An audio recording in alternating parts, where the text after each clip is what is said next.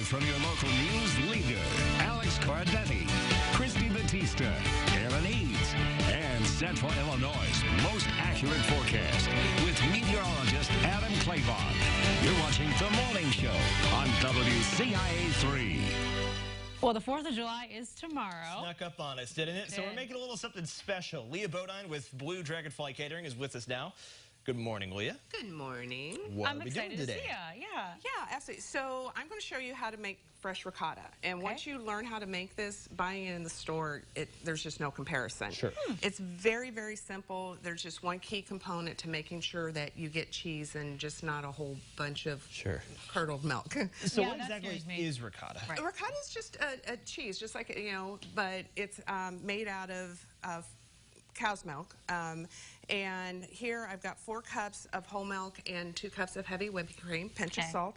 We're waiting for it to come to a full rolling boil. And that's the thing is that if it's got to be a full rolling boil before you put the vinegar in, because if it's not, you're just going to get When re- you really say thick milk. full rolling boil, That is a boil that can't be stirred down. So sometimes when you are cooking, Kind of dies down for a bit when you. yeah, dies down. So I always tell people the best way to know if they have a full rolling boil is if your milk is crawling up the sides of the pan. Okay. Um, that is when I absolutely know that we're ready to go. Sure. So um, as they say, a watch pot never boils. Right. So we're not going to watch it. no, I'm not it.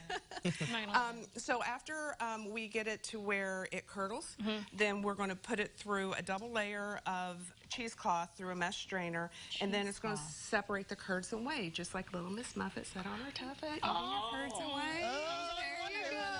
That's what that means, yeah. There you go. Okay, and then what is all the fruit there for? Okay, so the That- fruit's actually going to be the garnishment. So Okay. most people think of ricotta as like something that you can put in your lasagna or whatever, and Yeah. you certainly can with this. Okay. Um, I'm going to sweeten it with some honey, Mm. and then when I plate it, I'm going to plate the um, ricotta in the middle, Mm-hmm. and put the berries around. I'm going to swirl on a little bit more honey over Okay. the top, but you can also garnish with balsamic vinegar. Mm-hmm. Um, you can do a flavored balsamic, um, just it, basically whatever you want. However you Mix want it to do up. it. But Yeah. this is all for the 4th of July. So you Yes. got to put a little, you know. It's red, white, and blue.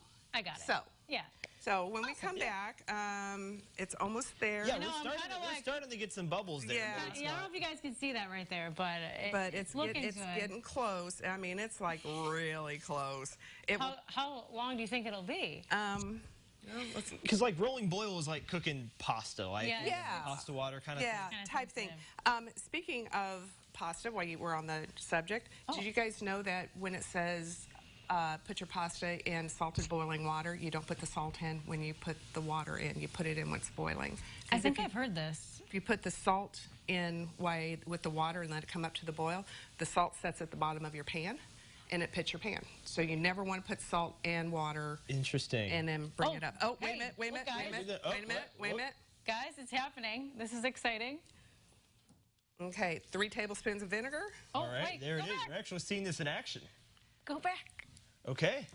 Okay, there you go. Okay, All see, right. how, see how it's separating already? Yeah, that is crazy. Well, we hit we hit three minutes at this point, so we're gonna come back and see what Yep. this what this looks like We uh, did get it in on about half an camera. hour. Yeah, that So- was great. Awesome, You did it. awesome. So All right. there you go. All right, cool. Thanks. We'll check Uh-huh. back in in a bit. But still to come, there's a rise in this treatment across Western culture. We're gonna tell you what to look for when it comes to holistic treatment. Stick with us.